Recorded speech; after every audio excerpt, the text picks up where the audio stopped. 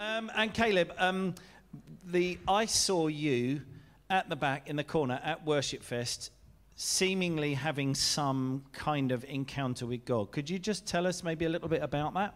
Okay, yeah, I was lying on the ground because Herbie prayed for me, and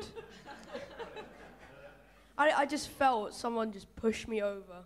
My dad caught me, and I felt some shivering, but I wasn't cold. I felt really warm, actually, and yeah, it's quite nice. And you seem to be on the ground quite a while. Um, I don't know whether you realise that. What were you feeling or thinking or anything while you were lying there? Well, my dad and I came up with like a, uh, what would you call it? A thing to this, like, a metaphor. Oh. Yeah. Go with the metaphor. We love metaphors. Okay. Um, if any of you heard of uh, in Harry Potter the Dementors, the things that when they're around you, they suck out your soul, and they, when when they're near you, they you feel like you're never going to be happy again. It's just sadness, despair. What I felt there was the complete opposite.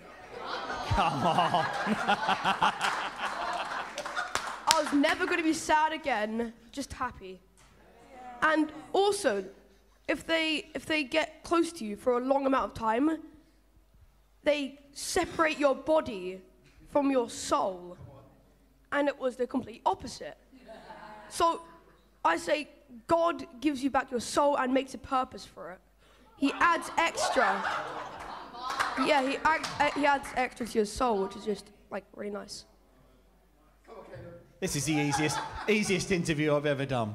So, um, can I ask? You, like I said, you were there quite a while. Why didn't you just? Why didn't you just get up? I felt like I needed to stay down. I just my legs didn't work. like, yeah. I just felt like it was, it was amazing. I just laid on the ground, the warmest. Like it's just really nice. So my dad had to carry me back to the car.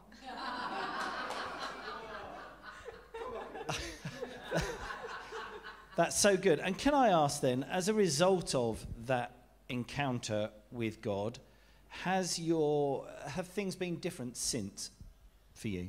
I feel like the encounter was a spark. So I felt I feel more inclined to go to church now, and uh, yeah, I just feel like I'm really happy. I'm just really happy to go to church, and it's just yeah, it's quite And nice. uh, do you, are you? Um, it's great that you want to come to church wherever you go. That's obviously great. But are you are you connecting with God more? Do you feel like you're aware of Him more, or anything like that? Yeah, I, yeah, I've been praying a lot more, and my dad's been introducing me to the new Bibles that, like, if I feel something about them, if I, if something just clicks inside of me, then I know it's the right Bible for me. That is a great way to choose a Bible.